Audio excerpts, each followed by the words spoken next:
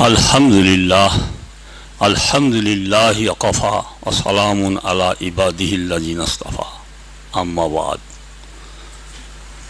রব্বিস রহলি সদরি অয়সিরলি আমরি ওয়াহলুল উকদাতম মিন লিসানি ইয়াফকাহু কৌলি দরবারে ইলাহিতে শুক্রিয়া জানানোর পরেই মহান বিশ্বনবী হজরত মুহাম্মদ মুস্তফা সাল্লাল্লাহু আলাইহি সাল্লামের উপর দরুদ ও সালাম পেশ করার তৌফিক আল্লাহ আমাদের দিয়েছেন আজকের এই নেক মজলিসে।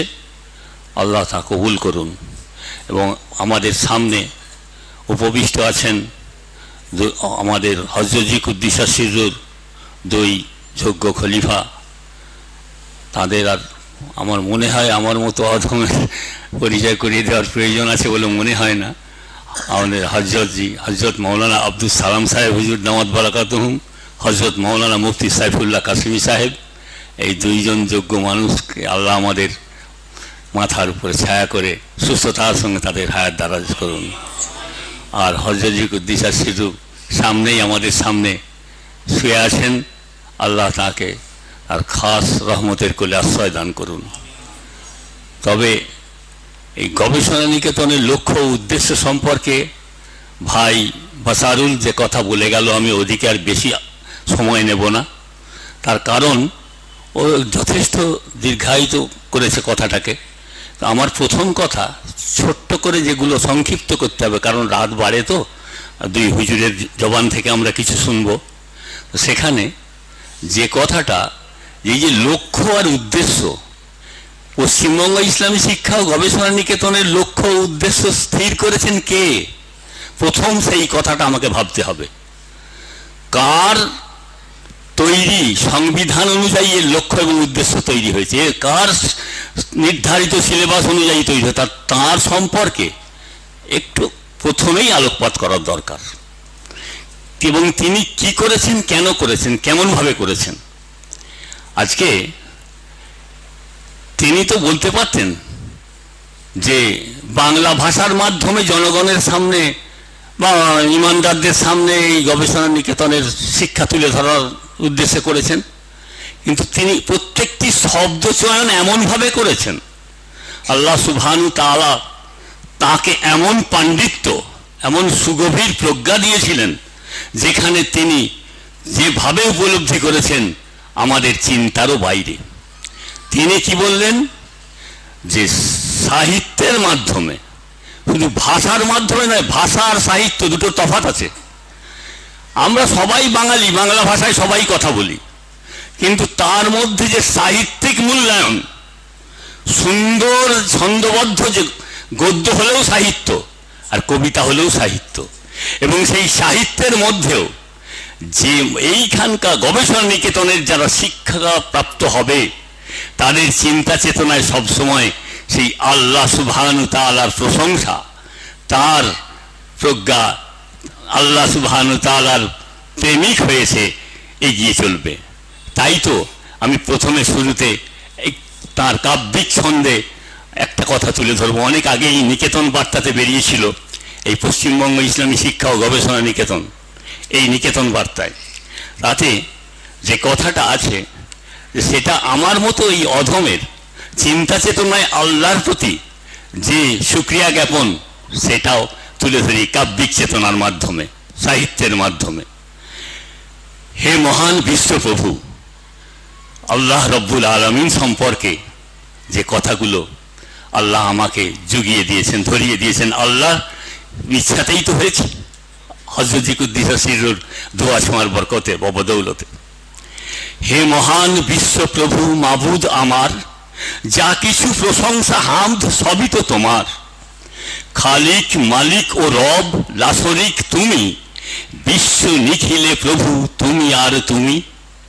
নারায়ক বান্দা তোমার, আমি গুণাগার, হে মহান বিশ্বপ্রভু মাবুদ আমার। তুমি হে অন্নদাতা, রাজ্জাক তুমি, একমাত্র পরিত্রাতা, হাফিজ তুমি। করিম সত্তার তুমি জলিল জব্বার। হে মহান বিশ্বপ্রভু, মাবুদ আমার। হাজির নাজির তুমি তুমি অন্তর জামি। আজিম হাকিম তুমি, হাসরের স্বামী। তোমার শান শকত বুঝা বড় ভার। হে মহান বিশ্ব প্রভু মাবুদ আমার। চন্দ্র, সূর্য, গ্রহ, তারা, আসমান জমি। সাগর ও পাহাড়, নদী আর মরুভূমি। দিনের আলো রাতের আধার, দিনের আলো রাতের আধার। তোমারই তো সব কিছু হে মহান বিশ্ব প্রভু মাবুদ আমার। আহাদ সামাদ তুমি রহিম রহমান, অসীম অনন্ত তুমি সর্বশক্তিমান।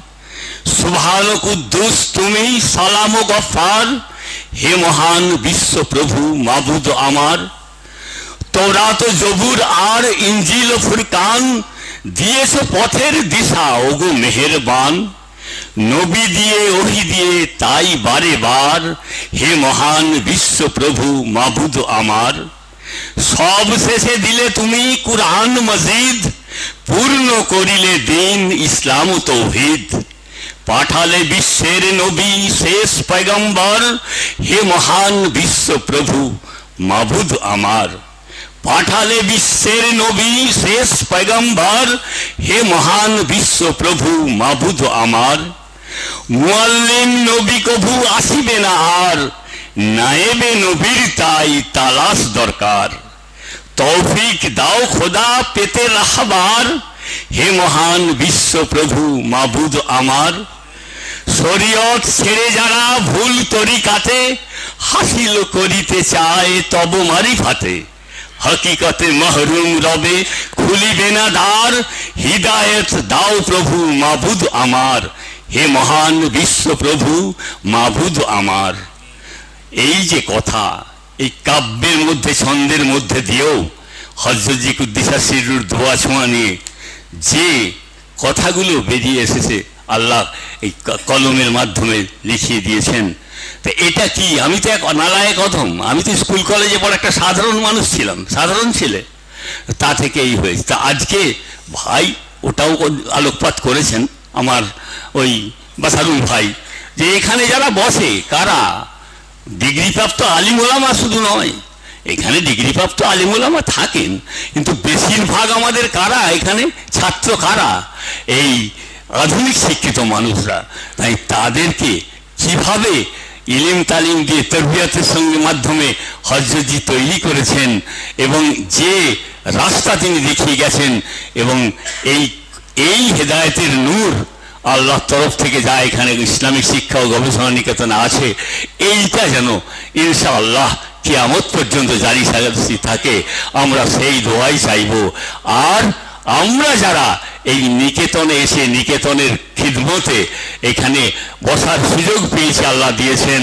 সেখানেও খুলুস নিয়েতে আমরা যেন এই দিনের মেহনতে এই আল্লাহ সুবহান তাআলার এই যে দিনই ইদারা, এই ইদারায় বসে যেন আমরা জীবনের শেষ মুহূর্ত পর্যন্ত আল্লাহ প্রেমের প্রেমিক হয়ে এই খাতিমাবুল খায়ের নসিব নিয়ে যেতে পারি। আল্লাহ আমাদের তৌফিক দান করুন।